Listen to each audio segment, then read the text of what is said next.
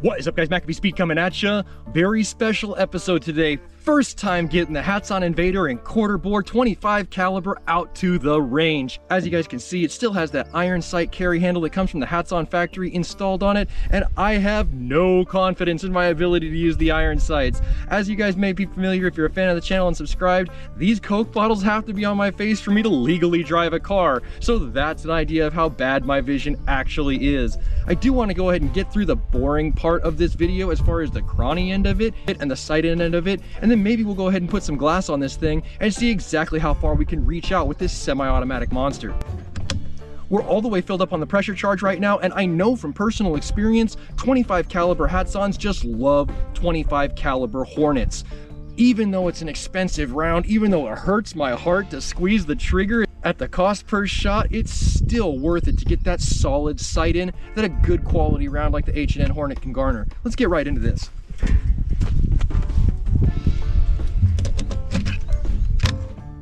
I will say this, comparatively to the Blitz, indexing the magazine is much more intuitive and smooth.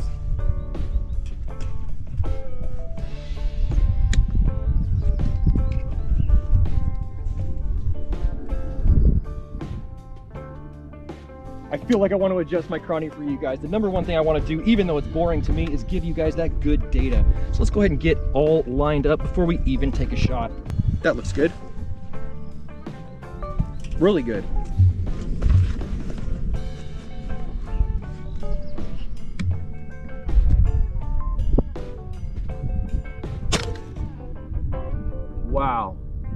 Not much adjustment necessary. 818 on velocity.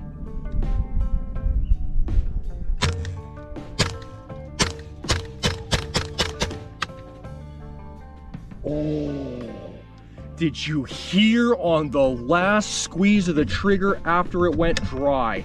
I would almost be willing to bet that the next time that I put a round into this rifle, it will not fire because the sear has been released, the same as we found in the 22 caliber testing. That means that you're probably going to have to re-rack this bolt to get fire out of it. You know, honestly, I've heard that sound before and I know I'm gonna have to do it. Let's just go ahead and re-rack her before we get into the next group. The next ammunition online is the Polymags, but I do want to keep this a very consistent test and top the rifle up with the pony bottle that I did bring with me. To be perfectly honest, as quickly as I was squeezing those rounds off, the fact that I can cover the entire group with an American quarter, absolutely astounding. Even though it's only 10 yards, iron sights, I'm blind, crazy good accuracy. All right, so I guess only just now you guys get to have some audio because I did forget to go ahead and turn the mic on on that one. Hopefully the internal microphone on the 360 camera has segued us to this point and we can go ahead and continue our group without any problems.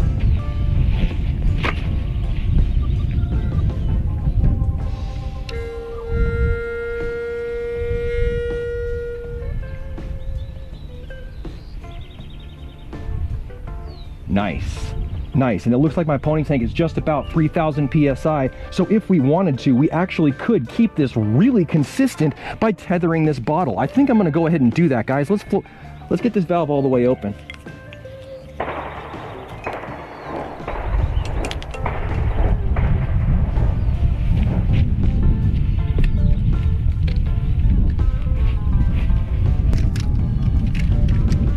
Right, we're all lined up, loaded up. Let's see exactly what happens with these polymags at the exact same distance at 10 yards in the quarter bore invader.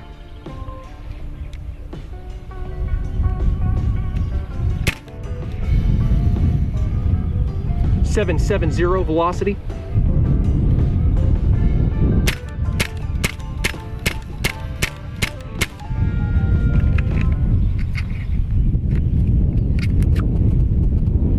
That's all the rounds in the magazine, and I feel like that was really consistent once again. good stuff, good stuff. I like it when things work.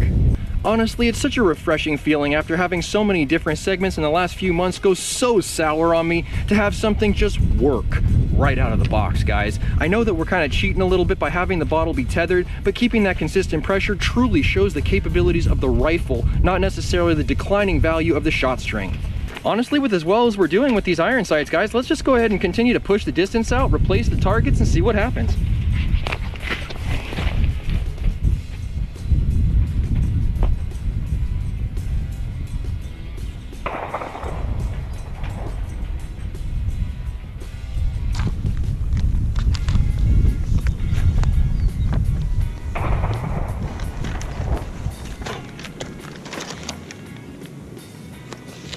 All right, guys, we're making the migration out here to 25 yards, and so far I'm very, very, very happy with the Invader as far as how it's performing for us. Let's go ahead and see how we can do at this distance, guys.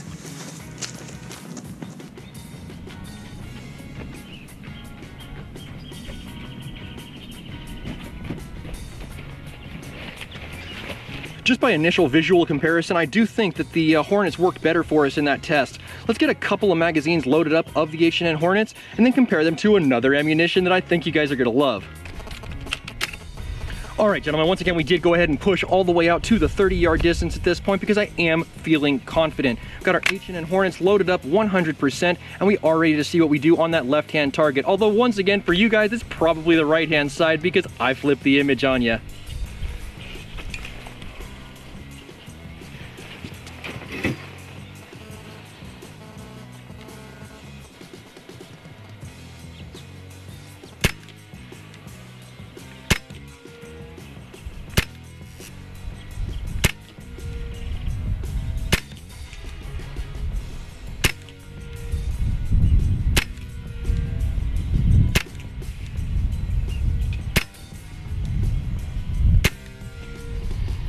Hmm.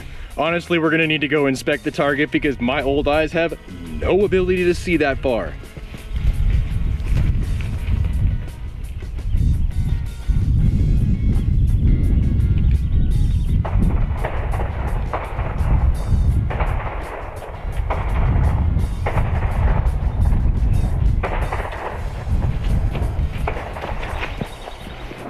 Realistically, it looks like we just need to come down a few clicks and we'll be doing all right.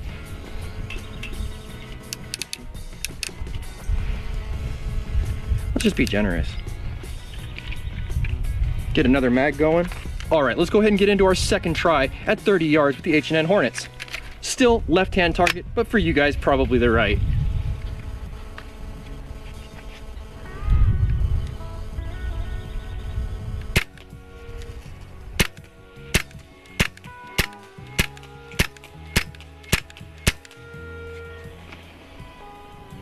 I see some yellow roughly towards the center. I'm a happy guy. That's all I can ask for. That's all I can ask for. If you can't see what you're aiming at, typically you're not going to hit it. So I have to just rely on the fundamentals, put that golf tee post right in the center of the target, and adjust as necessary. It's going to do a really special type of ammunition that I think you guys are really going to like seeing tested.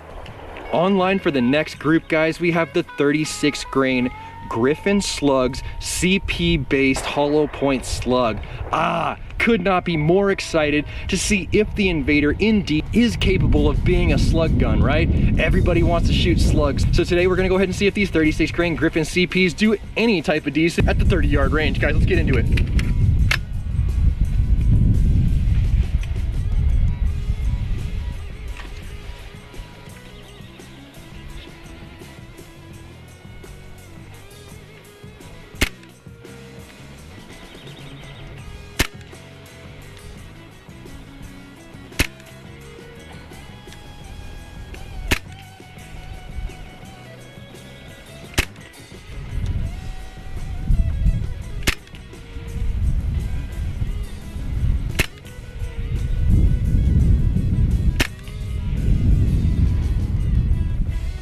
I truly have no idea. I'm just gonna continue and then take the walk.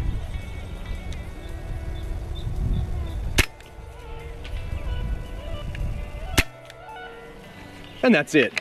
621 was the last number that I saw recorded on the chrony.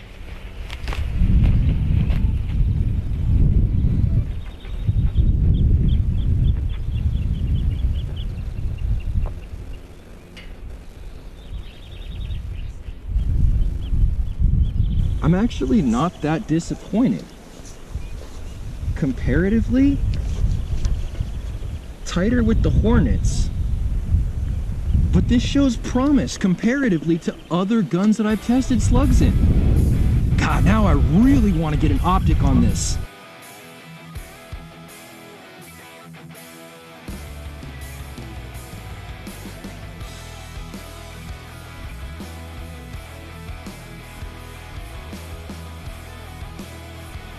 All right, guys, we got a couple of magazines of Hornets left. We got another magazine of Slugs set up, and we got fresh targets out there with a scope now mounted. Let's see if we can't walk this beast in.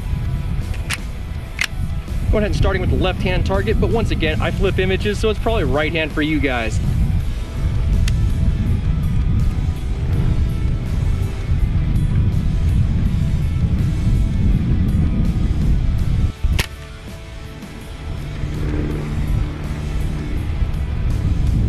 There's no way it's the same sight in between my Blitz and my Invader. There's no way.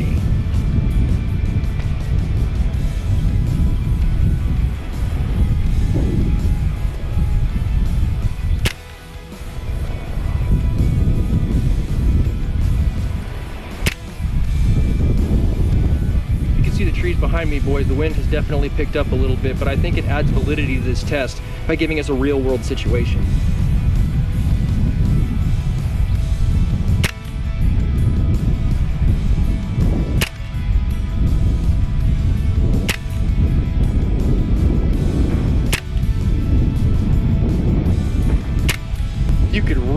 Feel that right to left push right now. It's like a wall of air slapping the side of the gun right now.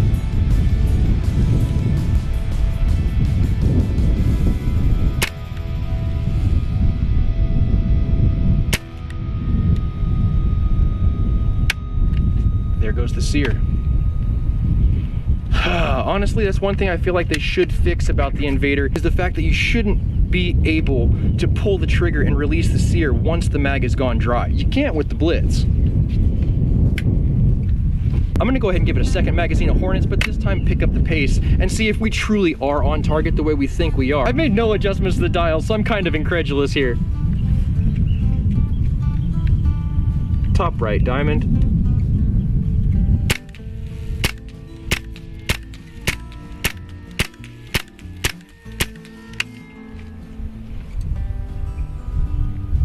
That was an even better group than the first one. There's no way. Moving on to the final group of the day, guys, the 36 grain CP, the 36 grain CP tip dish base from Griffin.